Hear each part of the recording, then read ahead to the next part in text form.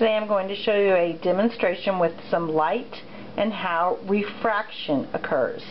I have a penny, a clear cup, a small pie tin, and some water.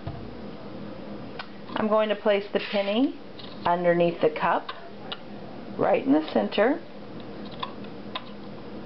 Next I'm going to place the pie tin on the cup so that when we peer in the side, we can see the penny.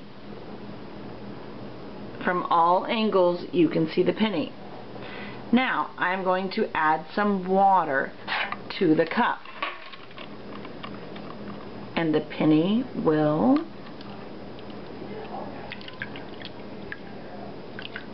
disappear. You can no longer see the penny from any side of the cup. How does this work?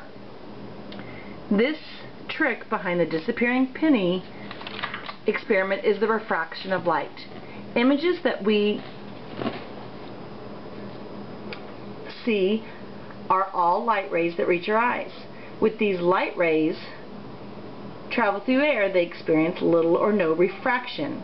That's why you can still see the penny through the empty side of the glass. When you poured the water into the glass, it was as though the penny had disappeared. But it was really just some bending light rays. After traveling through the water and the side of the glass, none of the rays were able to reach your eyes.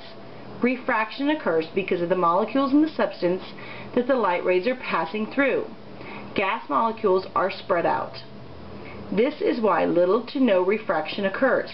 However, when light rays pass through a substance such as water, the refraction is greater because the molecules are closer together. So when the light rays are traveling from the money through the water, they are refracted and cannot make it to your eyes. In fact, the glass also refracts the light even more, and the images end up being projected near the top of the glass.